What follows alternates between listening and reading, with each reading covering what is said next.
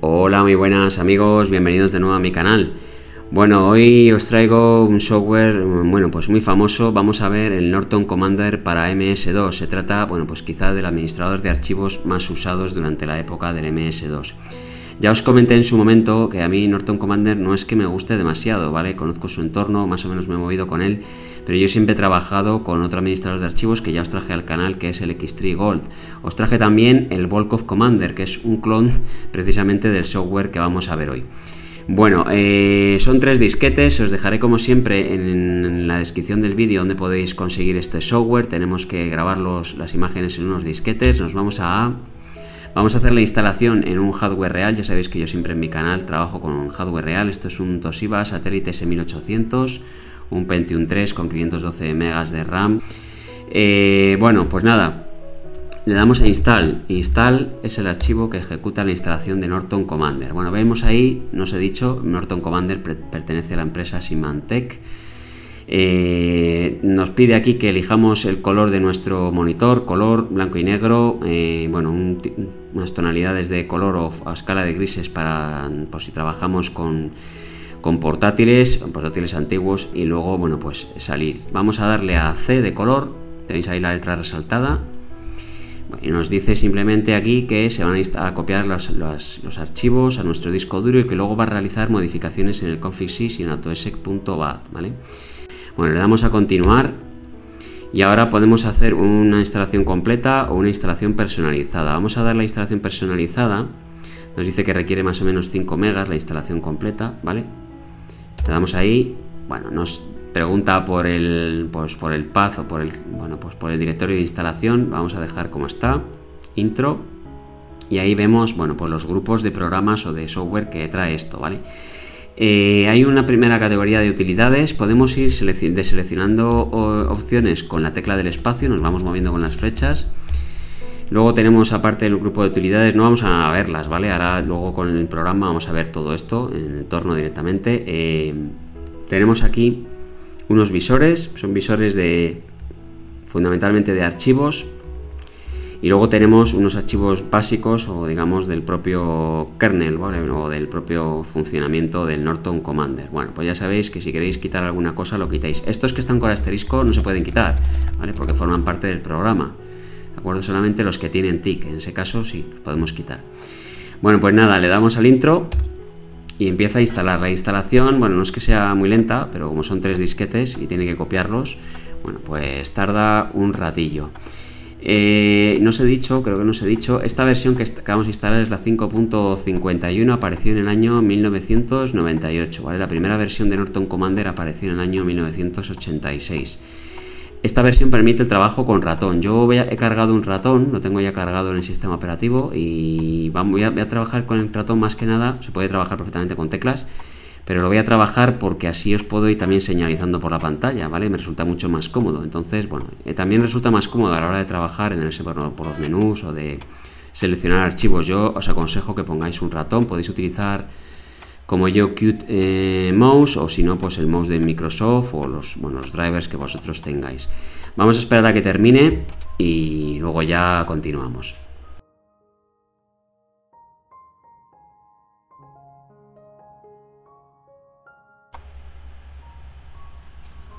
Bueno, pues ya hemos terminado. Quitamos el disquete y reiniciamos el PC, ¿vale? Em, realmente, bueno, el reinicio no es que sea muy importante, podéis trabajar directamente, pero vamos a reiniciar. Bueno, pues ya hemos reiniciado, veis ahí el, bueno, pues el mouse, ¿vale? Qt Mouse, que es el mouse que yo voy a utilizar. Pues nada, NC Norton Commander, como lo tenemos metido en el path porque ya lo incluye, directamente arrancamos. Bueno, Norton Commander, veis aquí y decís, qué cosa más rara, ¿qué es esto?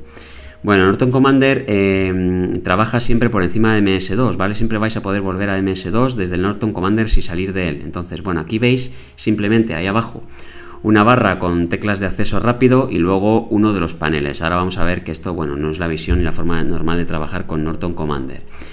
Eh, ¿Cómo vamos a mostrar el programa, digamos, bueno, en su funcionamiento normal? Le vamos a dar a F9 siempre tenemos que presionar las teclas de función, ¿vale? No son los números. Bueno, le damos a F9 y aparece ahí arriba la veis aquí, voy a señalar con el ratón ya que lo tengo, la barra de menús, ¿vale? La barra de menús es la barra, bueno, pues simplemente en la que nos muestra todas las opciones que tiene nuestro software.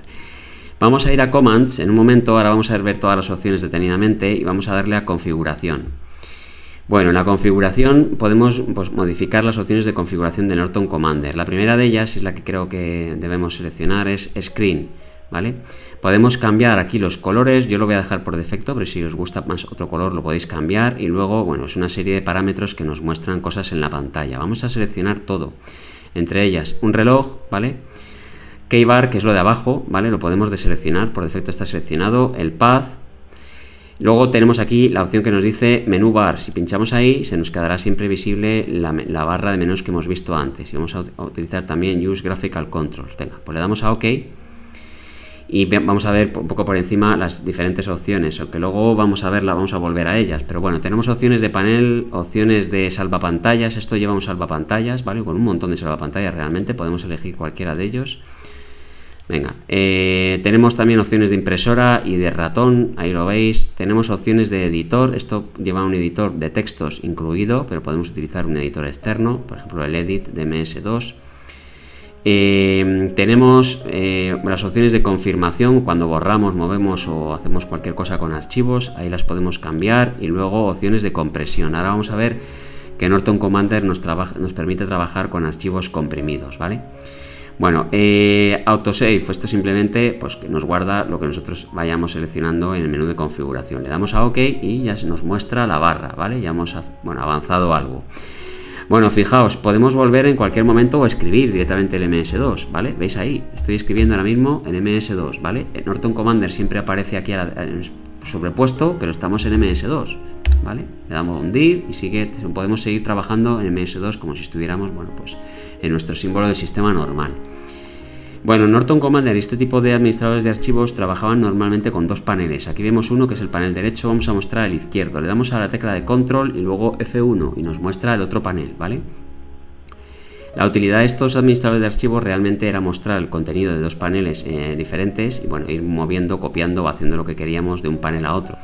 Bueno, la barra de, menús eh, tiene mm, dos opciones que realmente son las mismas, que es la opción left y la opción right. Hacen referencia a cada uno de los paneles. Este es el panel derecho y este es el panel izquierdo, ¿vale? Aquí modificamos las opciones del panel izquierdo y aquí las opciones del panel derecho. Ahora vamos a ver cada una de ellas. Luego tenemos un menú de archivos para trabajar con los archivos o copiar, borrar, todo lo que sea trabajo con archivos lo vamos a encontrar aquí trabajo con discos, ¿vale? Y luego una serie de comandos, digamos, un poco más especiales o de funciones que tiene Norton Commander. Em, siempre que pinchemos en uno de los menús, vamos a ver las teclas de atajo, ¿vale? Correspondiente, bueno, pues a esa opción. Hay teclas que solamente son las teclas de función directamente y otras, bueno, pues con la tecla, como veis aquí, de control o de shift, ¿vale?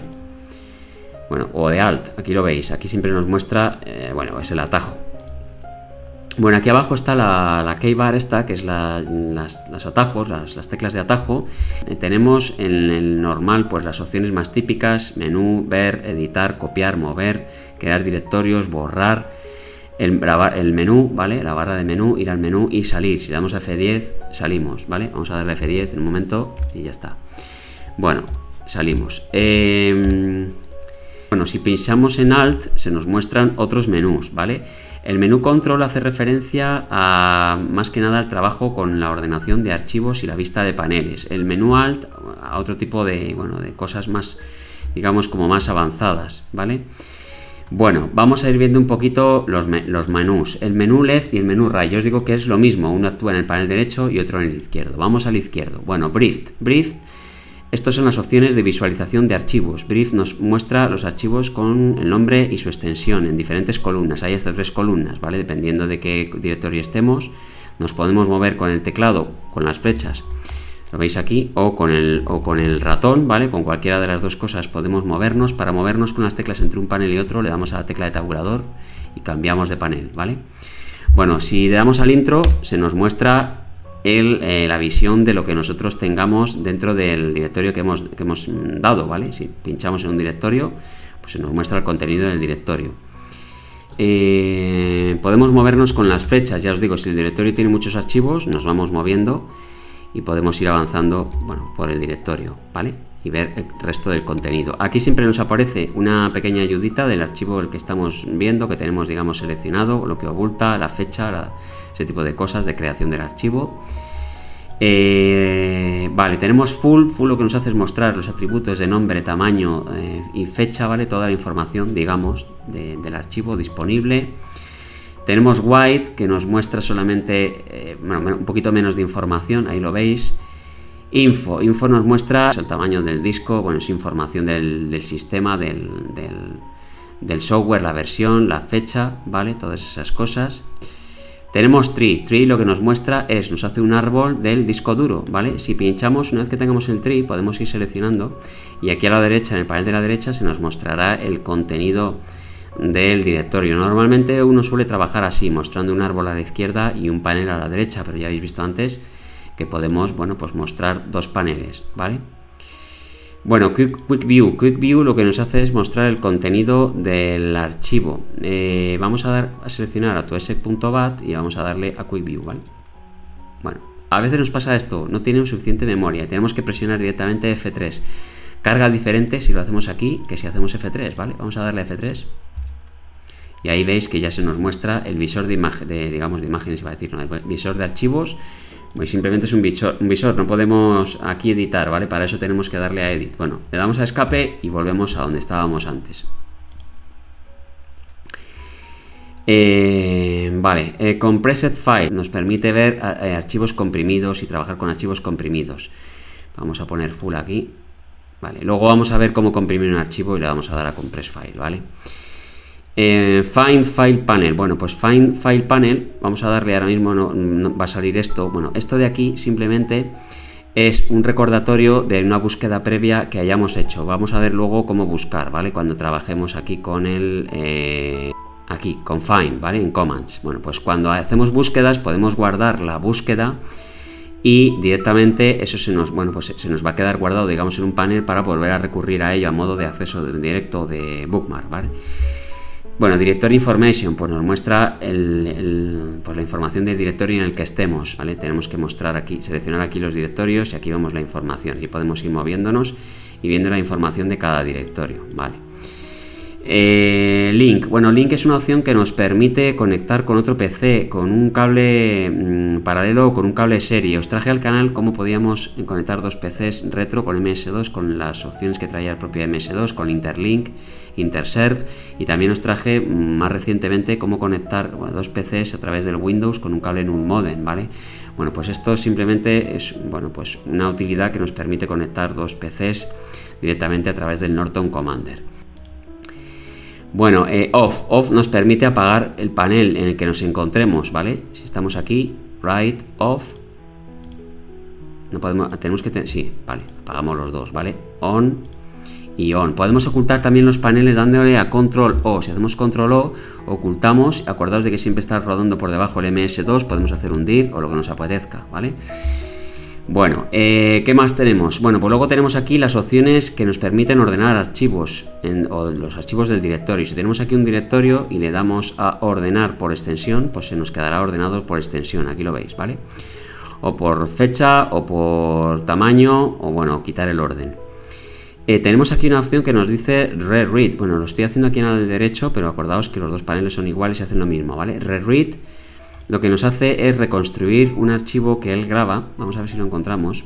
Mm, está aquí TreeInfo, ¿vale? TreeInfo NCD es un archivo que nos guarda la información de nuestro árbol de directorios del disco, ¿vale? Entonces, él, eh, para luego acceder, digamos, más rápidamente, en un PC muy moderno, quizá como este, mucho más moderno, pues quizá no tenga mucha utilidad, pero en PCs antiguos, que sí que tardaban en mostrar los directorios, o si tenemos directorios muy grandes, podía tener utilidad, ¿vale? Bueno, pues eso lo que nos hace es refrescar este archivo y nos volvernos a crear, digamos, la tabla del directorio.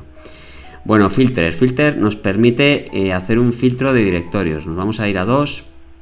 Vamos a hacer un filtro y le damos aquí asterisco.com. Le damos a OK. Hay muchísimas opciones del filtro, no las voy a explicar, ¿vale? Porque si no vamos a estar aquí años. Hacemos OK y nos mostrará los archivos que hemos filtrado, ¿vale? Si queremos quitar el filtro, eh, le damos aquí a filtro y hacemos clear y ya está, ¿vale? Y se nos quita. Bueno, Drive. Drive nos permite cambiar. Podemos elegir aquí en un panel cualquier disco disponible en nuestro PC. Disco A, yo solamente tengo un disco A y un disco C. Si tenemos más etiquetas o más discos, pues podemos mostrarlos, ¿vale?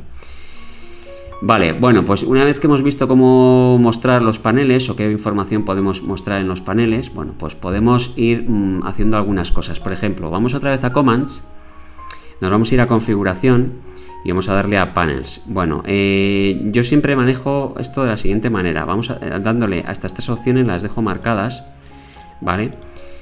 Para que, fijaos ahora, cuando nos, movamos, nos movemos, estamos en el árbol de directorios, por aquí a la derecha, nos va mostrando directamente el contenido, ¿vale? Sin tener que hacer doble clic, ni darle al intro, ni nada. Eh, files, vamos a ir al menú, a la parte de Files. Bueno, Files. Norton Commander tiene una ayuda. Si le damos a F1, nos muestra la ayuda principal, ¿vale? Pero esta ayuda además es curioso, porque está bastante bien hecho. Podemos ir, bueno, por temas, seleccionando por temas, le podemos ir a avance página o a Next y nos va mostrando la información de los temas. Bueno, esta opción, esta ayuda es una ayuda también contextual. Si ahora nosotros vamos a, seleccionar cualquier archivo, le vamos a pulsar cualquier tecla de abajo, por ejemplo, la tecla de eh, borrar, ¿vale? F8 no vamos a borrar, simplemente le vamos a, a, seleccionar el menú de borrar, veis ahí el menú de borrar archivos. Bueno, si ahora presionamos F1, nos muestra la ayuda de borrar, ¿vale? Es decir, es una ayuda contextual de lo que tengamos debajo. Si no tenemos ninguna cosa, pues nos mostrará la ayuda principal del programa. Bueno, bastante útil eso. User Menu. Bueno, User Menu lo que nos permite es eh, incluir, digamos, opciones o construirnos un menú personalizado en el que podemos meter diferentes cosas. Eh, nos aparece en blanco porque, bueno, de primeras aparece siempre en blanco. Es un menú que tenemos que ir rellenando nosotros. Si os dais cuenta, en cuanto le damos a, vamos a darle otra vez, fijaos aquí la barra User Menu, se nos cambia, ¿vale? Para que nosotros insertemos cosas en este menú. Le damos a F6 y podemos insertar comandos u otros submenús, ¿vale? Le vamos a dar un comando y así nos complicamos menos la vida. Le ponemos una tecla, atajo de teclado y eh, una etiqueta. Podemos hacer, por ejemplo, mm, dir y ponemos debajo un comando. Estos comandos son los comandos de MS2, ¿vale? dir barra w, que nos muestra, hace un directorio así en forma de columnas. Venga, le damos a OK, guardamos, le damos a F2, tenemos que guardar para que se nos quede guardado el menú.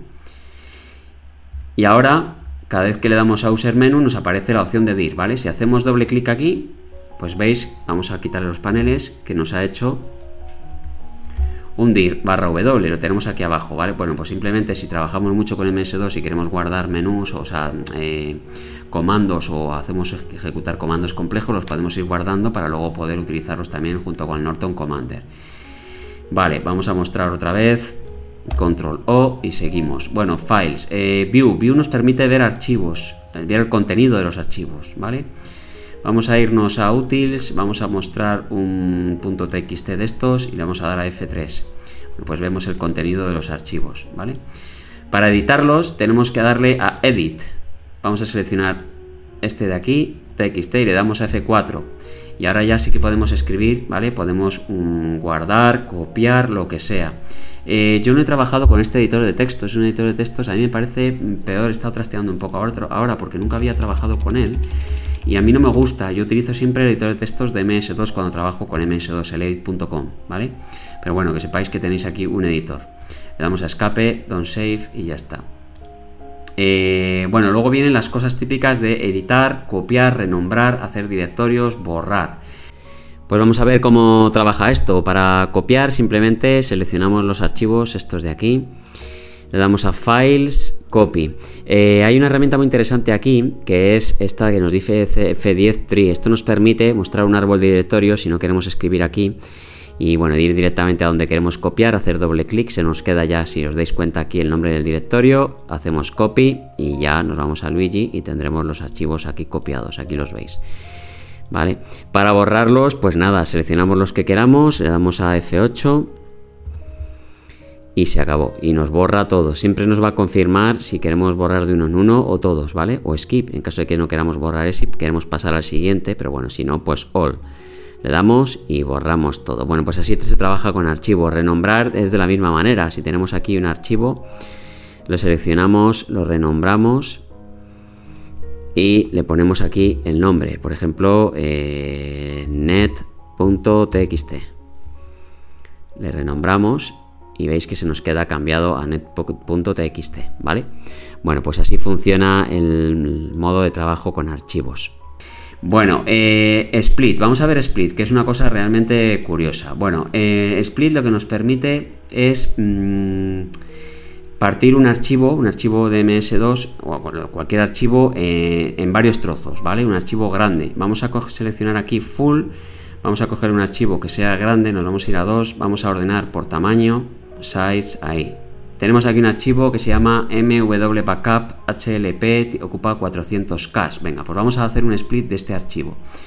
Lo seleccionamos ahí, Files y hacemos Split, ¿vale? Bueno, y ahora simplemente lo vamos a, le vamos a decir que dónde queremos que lo copie. Venga, pues ahí.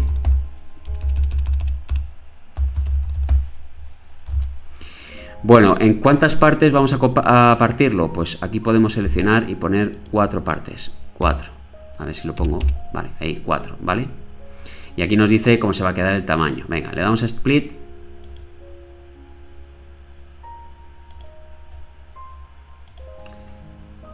No me deja. A ver, mm, split. Vamos a intentarlo otra vez. Vamos a hacerlo eh, Luigi. Ahí, ¿vale? Algo hemos hecho mal antes. Bueno, aquí aparece, ¿vale? Bueno, pues nos quedan cortado en cuatro trozos, ¿vale? Nuestro archivo. Bueno, ¿qué podemos hacer ahora? Si queremos recuperar nuestro archivo, lo podemos llevar a otro lado y luego recuperarlo. Bueno, para recuperarlo los marcamos. No os he dicho cómo se marcan archivos. Se marcan con el botón derecho del ratón o con la tecla de Insert, ¿vale? Marcar o desmarcar, evidentemente. Bueno, con la tecla de marcar, ins, Insert o botón derecho, seleccionamos todos y ahora lo que hacemos es darle a Files, Split, Merge. En cuanto tenemos ya seleccionado varios, archivos en amarillo, nos dice que directamente nos aparece el menú de Merge, ¿vale? Bueno, pues le ponemos en, la ruta, le ponemos el nombre y Merge. Y nos crea un archivo completo. Lo veis ahí, que ocupa lo mismo que ocupaba el otro, ¿vale?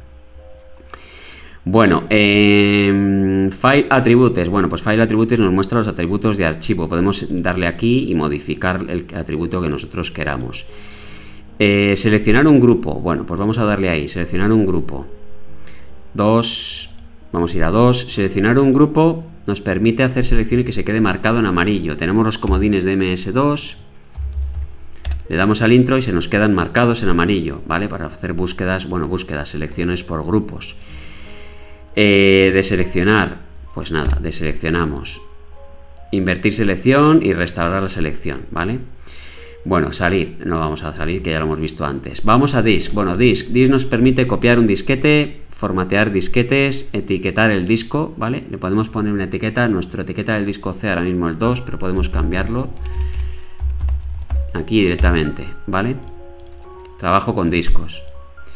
Bueno, eh, aquí hay unas utilidades para red, que la verdad es que, claro, ahora mismo no tenemos una red instalada en MS2. Yo nunca he llegado a probar esto, no sé cómo funciona, la verdad. Vale, os trajo de cómo poder navegar con MS2 eh, por internet, cómo conectarse a internet. Realmente navegar se puede navegar poco, pero la verdad es que es muy interesante verlo. Pero nunca he llegado a conectarse, bueno, a utilizar Network en Norton Commander. Bueno, tenemos la opción de Disk Clean. Disk Cleanup, este lo que nos permite es borrar archivos del disco. Por ejemplo, archivos, aquí veis las categorías de cosas que hay, ¿vale? Archivos temporales, archivos de backup, eh, bueno, un montón de cosas. Archivos antiguos de autosec.bat. Vamos a darle, venga, archivos de config, esto a ver si lo busca. Aquí le damos a Start y veis ahí que encuentra uno. Bueno, pues podemos darle a borrar y ya está, ¿vale? Y nos borra. Bueno, eh, para limpieza de disco. Bueno, comandos, pues nada, tenemos ncdtree. ncdtree nos muestra el comando, mm, o sea, el, árbol de directorios para que nosotros vayamos a cualquier sitio, ¿vale? Pinchamos ahí, se nos mueve al directorio y nos muestra los archivos en el panel de la derecha. Bueno, find file, find file, esto es muy interesante. Find file nos muestra eh, archivos de búsqueda, ¿vale? Vamos a poner eh, DLL, por ejemplo, no sé si habrá DLL, me estoy dando cuenta, y vamos a decirle que lo busque en todo el disco. Seleccionamos la opción de Entire Disk, le damos a Start y nos encuentra todos los archivos DLL. Podemos guardar esta búsqueda, ¿vale? Le damos a Send to Panel, nos muestra aquí en el panel la búsqueda y ahora además tiene la ventaja de que si nos movemos, vamos a ir a Full Vemos aquí otra vez todos los archivos. Si ahora hacemos write find file panel, nos vuelve a mostrar la búsqueda. History. Bueno, history nos muestra em, las cosas que hemos ido haciendo, ¿vale? Aquí nos vemos, hemos mostrado antes, hemos dado al comando dir, bueno, pues nos muestra la historia y podemos repetir otra vez si queremos. Vale, eh, ¿qué más cosas de commands? Eh, Egalines, bueno, el Egalines lo que hace es cambiarnos el modo gráfico. A mí nunca me ha gustado esto. Perdona, que le daba ahí. Vale, y nos muestra aquí un modo gráfico como mucho más comprimido y que nos muestra más cantidad de archivos. A mí no me gusta, pero bueno, a lo mejor en algún momento nos puede ser de utilidad. System Information, nos muestra la información del sistema. Si no se nos queda bloqueado. Que parece que sí, ¿eh? se me ha bloqueado. ¿Será posible? Bueno, chicos, se me ha bloqueado. Cosas que pasan, ¿eh? Vale, vamos a darle a control a suprimir. Bueno, pues nada, ya hemos reiniciado. Se me ha quedado bloqueado. Es increíble, venga. Nos metemos dentro. Bueno, pinchamos otra vez en Commands, System Information. Ahora sí, vale, bueno, nos muestra la información del PC, Toshiba, nos dice la fecha. Eh, nos dice qué procesador llevamos, sistema de vídeo, discos, información de, versión de MS2, eh, bueno, ese tipo de cosas, memoria. La verdad es que es una información bastante completa. Floppy memoria, instalación de memoria. Aquí nos dice también cómo se está usando la memoria, ¿vale? Cuáles son los archivos que están ocupando memoria en el sistema. La verdad es que esta es una información bastante completita. Bueno, vamos a ver qué más tenemos aquí. Swap Panels. Bueno, Swap Panels, Control U o directamente a través del menú nos permite, mm, bueno, pues cambiar o hacer un swap de los paneles, ¿eh? ¿vale? El, del orden de los paneles, ahí lo veis, el izquierdo por el derecho. Bueno, apagar, eso ya lo hemos visto. Comparar directorios. Vale, pues nada, pues comparar directorios lo que nos hace es comparar. Vamos a seleccionar aquí eh, un directorio.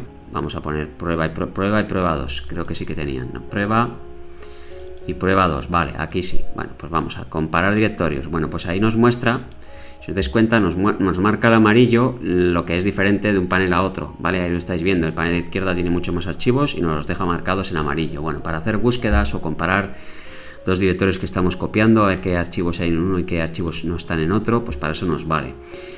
Eh, extensions Fill Edit. Bueno, aquí tenemos un editor de extensiones de archivo. La verdad es que yo no lo he utilizado mucho, lo vamos a dejar. Vamos a darle a Editors. Venga, Editors sí. Bueno, para editar, eh, para, esto es simplemente asociar un tipo de editor o a, un tipo de archivo, ¿vale? Le damos, como siempre, igual que hemos visto en el panel, F6, insertar. Ponemos una extensión TXT, vamos a, asociar el edit.com a nuestro editor.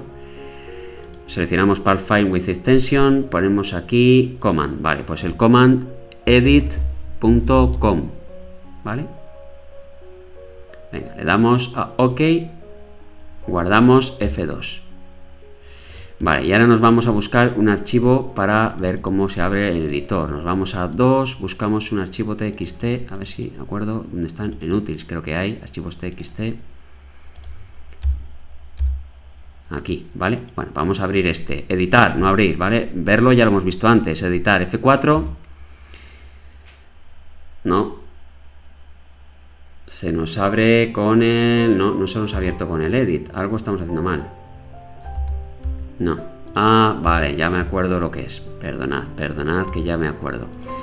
Tenemos que ir a Commands, Configuración, Editor y pinchar Externo, ¿vale? Porque si no nos abre siempre el archivo con el editor interno. Ahora. Le damos a F4 y nos muestra ya el editor de texto, ¿vale? El, el edit.com de MS2 y el, y el editor que habíamos seleccionado. Bueno, pues teníamos que seleccionar ese archivo, esa opción en nuestra configuración. Lo digo otra vez, ¿vale? Commands, editor. Aquí editamos y le decimos que asocie txt con nuestro edit.com y aquí en configuración, editor, externo, ¿vale? Para que nos abra ese editor. Si no, nos va a abrir siempre con el editor interno, aunque lo seleccionemos ahí. Bueno, commands. Em, configuración ya lo hemos visto. Y realmente poco más. Bueno, nos queda una cosa todavía interesante antes de que, se me, que, que me vaya y es cómo podemos trabajar con archivos comprimidos. Bueno, para trabajar con archivos comprimidos no está en el menú, es curioso, o por lo menos yo no encuentro la opción de trabajar con archivos comprimidos Eh, tenemos que seleccionar... A ver, vamos a ver si podemos. Tenemos que seleccionar los archivos que queramos comprimir, ¿vale? Vamos a, seleccionar varios. Aquí abajo nos aparece siempre el tamaño. Vamos a, bueno, hacerlo por tamaño mejor, porque así seleccionamos los más gordos y creamos un archivo comprimido más gordo. Bueno, ahí tenemos una, una serie de archivos y queremos comprimirlos. Si le damos al Alt y al F5, nos va a decir que eh, compress using commander compression, ¿vale? Bueno, aquí nos tenemos que meter la ruta donde queremos que nos guarde el archivo. Vamos a poner en prueba un archivo Luigi, o vamos a poner comp de comprimido, ¿vale? Y tenemos que seleccionar el método de compresión. Vamos a dejarlo como commander mm, compression, le damos a comprimir y se pone a comprimir, ¿vale? Bueno, pues ahora si nos vamos a aquí comp, ¿vale? Ahí lo hemos guardado, perdonad, en prueba.zip tenemos nuestro archivo comprimido. Bueno, los archivos comprimidos, una vez que lo hemos comprimido, seleccionamos el archivo y ahora lo que hacemos es darle a eh, Compressed File y nos muestra el contenido del archivo comprimido. Podemos grabar, o sea, copiar o mover o, o, renombrar cualquiera de los archivos que esté dentro de nuestro archivo comprimido sin tener que descomprimirlo, ¿vale? Si ahora decimos copy, podemos copiar esto a nuestro, a nuestro disco duro, ¿vale? Sin necesidad de descomprimir el archivo porque ya estamos trabajando dentro de nuestro archivo comprimido. Bueno, ahí lo veis, ¿de acuerdo? Bueno, pues bastante útil la opción esta de archivos comprimidos.